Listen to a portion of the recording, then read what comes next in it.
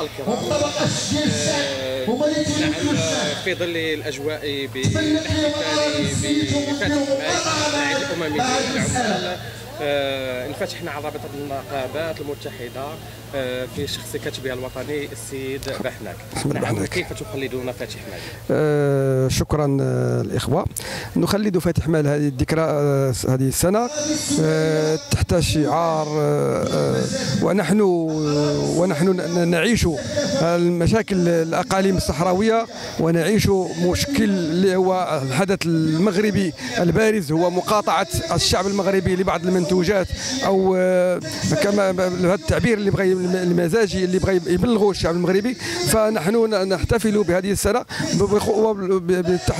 نحتفل هذه السنة حول آه، هذه التعابير هذه ال- بال- بال- بالآراء ديالنا التعبير الآراء- الرأي ديالنا فيها. فصراحة آه، نحن مع الوحدة الوطنية وضد أي واحد أي إنسان أي جهة سواء الجزائر أو البوليزاريو أو أي جهة سولت لها نفسها أن آه، تدخل في الوحدة الوطنية ديالتنا. فنحن مغاربة من الصحراء من الصحراء إلى طنجة. ف هذه السنة من من خلال أن النقطة الثانية التي هي مقاطعة الشعب المغربي لبعض المنتوجات. فكنا ما فات ان ننادي في بهذه المشاكل من تقريبا منذ منذ ان من بغى بن كيران يحيد صندوق المقاصه فكنا كنقولوا اللهم ان هذا منكر. لا خلي الدولة تحمي المواطن ديالها بصندوق المقاصه لأن صندوق المقاصه كان هو اللي كي اللي كي اللي كي اللي كيحمي المواطن من القدرة الشرائيه ديالته. الزياده في- الأسعار المحروقات.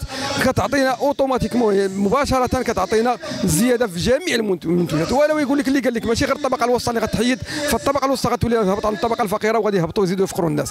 فبصراحة المراجعة الأساسية اللي خاصها تراجع هي صندوق المقاصة خاصو يرجع والدولة خاصها تحمي المواطنين. نحن في المغرب ما كنستافدوش من عائدات ديال الفوسفات من العائدات ديال البحر من عائدات ديال بعض المعادن. فهاد العائدات هذه كلها خاصها ترجع ترجع تعطينا تعطينا تخلي الدولة كت كت كت كتخلص عندنا ذاك الفرق ما بين ما بين ما بين البرميل ديال البترول وحس باش تبقى المعيشة ديالتنا مستقرة.